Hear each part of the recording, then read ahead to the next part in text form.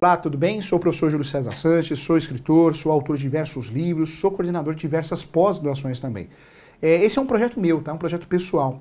O professor fez uma promessa que quando tudo desse certo, profissionalmente falando, eu iria ajudar os advogados iniciantes, porque eu senti, eu senti essa falta. Infelizmente, nós não aprendemos na graduação e uma instituição de classe também nós não temos apoio, né? Só palestras, palestras normalmente que são fracas, né? Normalmente tem muito profissional bom que vai lá dar a palestra, mas esse profissional talvez ele queira vender o serviço. Fato é que falta. Falta o quê? Falta o ponto de partida. O advogado não tem o ponto de partida hoje. Então eu quero ajudar você. Então você que está nos assistindo, sou o professor Júlio, estou aqui em caráter informativo é, para ajudar você. Ajude a divulgar, ajude a divulgar esse vídeo para os colegas, você que está na graduação ainda pensando em qual ramo atuar, é isso que eu quero de você. Eu quero que você divulgue para que possamos ficar mais forte. A advocacia precisa de uma classe mais unida, tá? Então isso é, é real, isso é importante, eu quero te ajudar. Vamos tratar aqui então, a primeira dica que eu vou trazer é para o advogado penal, chamado criminalista, criminal.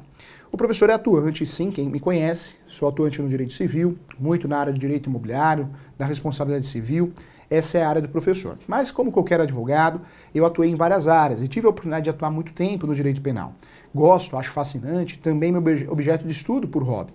É, vamos bater um papo aqui sobre o direito penal, tá? advocacia criminal. Então, primeiro ponto. É, professor quer atuar no direito penal. Normalmente é a paixão. É a primeira paixão do aluno, do bacharel em direito, é o direito penal. Porque é um ramo mais acessível, a gente consegue ver no filme, na novela. Você que quer atuar no direito penal, ser um criminalista, volta a falar. Quem faz tudo não faz nada. Então se especialize, tá? É, o professor lá atrás atuava em todas as áreas. Foi bom? Foi, aprendi muita coisa. Mas comecei a ter sucesso em termos de remuneração, ser procurado na advocacia, quando me especializei. Então foque em um ramo só. Volto a falar, presta atenção aqui, ó. Quem faz tudo, não faz nada. Quem faz tudo, não faz nada. Então aquele advogado que é clínico geral, ele vai ter dificuldade de ser reconhecido. Aí você fala para mim, professor, mas eu estou assistindo do interior, eu moro em uma cidade pequena. E desculpa, desculpa, não, você que atua em todas as áreas, você não é respeitado. Escolha uma, duas áreas no máximo e seja o melhor profissional naquela área. Mas não atue em todas as áreas, tá bom? Essa é a primeira dica que eu dou.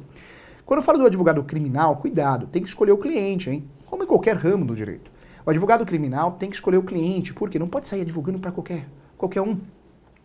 Tem que analisar a família, tem que analisar se o sujeito está preso ou não, tem que analisar, tem que fazer uma análise. O advogado também tem que escolher o cliente dele. Não adianta você sair atuando em todas as áreas, não escolhe o seu cliente, isso não vai gerar boa remuneração e também você não vai ter reconhecimento e não vai ter paz pessoal, porque a cobrança vai ser absurda e você não vai ter que estudar de tudo, você vai se perder, hein? Então, o importante, você que é advogado criminal, você que sonha em ser um advogado criminalista, foque na área, seja só criminal. O advogado criminal de verdade, ele pode atuar em vários segmentos. Pode ser um criminalista genérico. Pode ser o criminalista que faz júri e somente júri. Pode ser o criminalista que atue mais nos crimes empresariais, crimes tributários. Então você pode sim ser um criminalista e focar numa determinada área, tá? Então primeiro passo aí.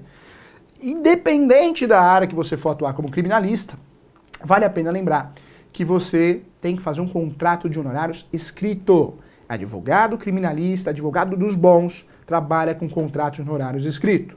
Esse negócio de falar, ah, de boca, ele vai pagar. Não, escrito, tá? Fique atento em relação a isso. Você que está pensando ou já é criminal, quer focar na advocacia criminalista, fique atento. Hoje o advogado ele pode sim fazer boleto, é isso mesmo, pode fazer boleto, e pode também passar a maquininha, tem aquela maquininha. PagSeguro, Cielo, do Banco Itaú, do Bradesco, Santander, não estou aqui fazer propaganda, hein? Mas o advogado hoje não tem nada de errado ele utilizar a maquininha. E isso ajuda muito na advocacia penal, na advocacia criminal, porque você não vai tomar o chapéu do seu cliente. Então passa o contrato. E não falo só isso, mas você consegue também fazer uma gestão melhor, uma gestão melhor da sua advocacia. Então use a maquininha. Lembrando que não precisa ter é, CNPJ. Você pode sim, sendo pessoa física, advogado pessoa física, advogado é, individual, né, sem, sem ser uma empresa, você pode usufruir dessas máquinas também, tá bom? Isso ajuda muito na gestão do escritório, na parte financeira, para que você não deixe de receber e para que você ajude o seu cliente para que ele consiga pagar também, tá? Então uma dica chave de ouro. Primeira dica então, contrato honorários escrito sempre, na advocacia, advocacia criminal, sempre honorário escrito, hein? Professor, mas o meu cliente está preso, mas quem te contratou é a família, faz a família que vai assinar, ela que te contratou.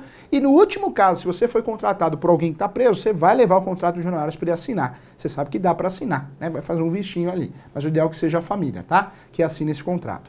Você que é advogado criminal, iniciante, pensa em ser um advogado criminal, é, cuidado, você precisa trabalhar o seu psicológico, hein? Existe uma cobrança muito grande na advocacia penal, muito grande. É uma co cobrança a todo momento. Você é muito cobrado na advocacia penal. A família quer, né, principalmente quando o parente está preso, quer ele, quer ele solto. Então você vai ter que ter um jogo de cintura. E nunca, nunca, jamais minta na advocacia. Não estou falando só na penal, não. O advogado não é mentiroso. Né? Não tem um ditado, advogado é mentiroso. Não, não, é, não pode ser mentiroso. O advogado mentiroso se dá mal, hein? Em todos os ramos do direito. E no criminal ele corre o risco de morrer. Jamais você vai prometer nada, você vai fazer o melhor para o seu cliente, mas você não pode prometer algo que não é você que vai decidir. Sabe quem vai decidir na advocacia penal? É o juiz, não é? É o juiz, desembargadores em segundo grau, ministros em terceiro grau, não é você. Você vai fundamentar, você vai colher provas, mas nunca você vai é, mentir, tá? Cuidado, advogado mentiroso se dá mal, então cuidado. Contrato de análise escrito, use, use a maquininha, cartão de crédito ou débito, e também nunca minta para o seu cliente, tá? Então é um erro fatal do advogado criminal, ele se dá mal. Outra situação importante também, hein? Ah, professor, o, o, fui num local, não vou falar onde, e me ofereceram dinheiro. Não se meta nessa. Sabe por quê? Tudo que dá errado, mentira tem perna curta. Pode sobrar para você. Cuidado com esses acertos, hein?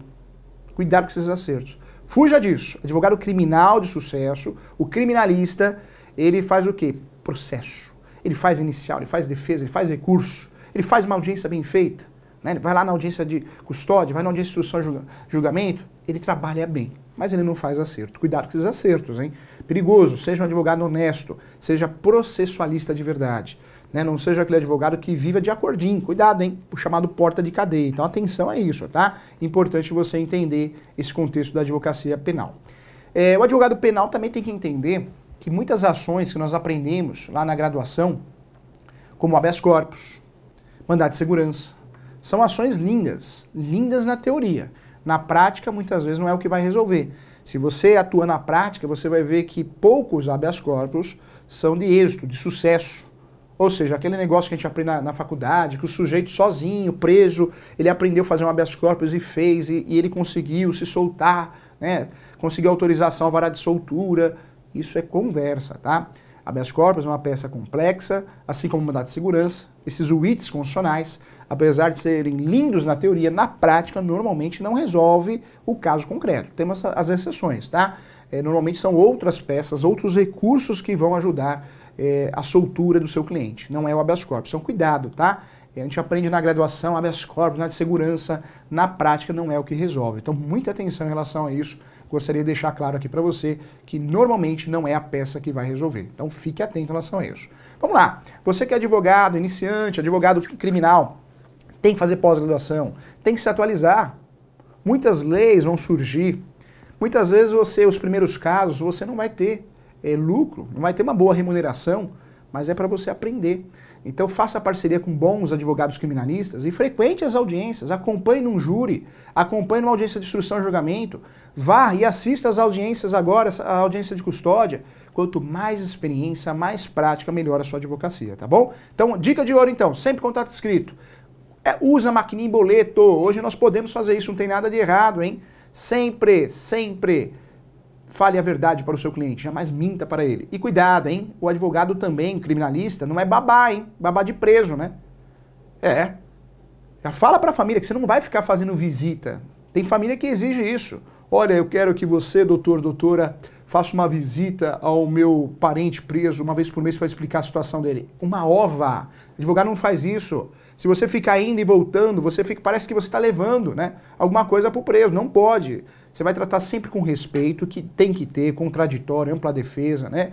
Muita, muita gente está presa injustamente, então tem que ter respeito para o ser humano. Mas você não é pombo correio para ficar indo toda hora visitar preso. Então cuidado com isso, tá? Quem visita é a família. Você pode até ir uma vez, né?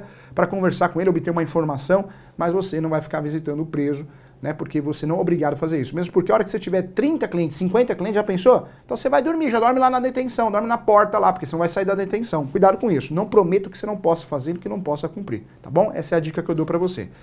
É rápido, didático, objetivo, mas essas dicas aqui, pode ter certeza, são dicas infalíveis para o seu sucesso e a sua proteção pessoal para que você possa ter sucesso na sua carreira. É o que desejo para você. Estou fazendo aqui o que deveria ser feito né, é, lá no começo, uma, na própria graduação, né, um, um, último ano mais prático de verdade. A própria instituição poderia dar uns apoio, um apoio maior, melhor mas não temos isso. E o professor Júlio é um projeto de vida, tá? Então esse projeto aqui é para ajudar você, advogado que está pensando em atuar na área penal, para que você tenha uma noção de como advogar, uma noção importante que talvez você só iria aprender na prática. Então aprende aqui com o professor nesse ponto de partida. Um abraço para você, sucesso sempre.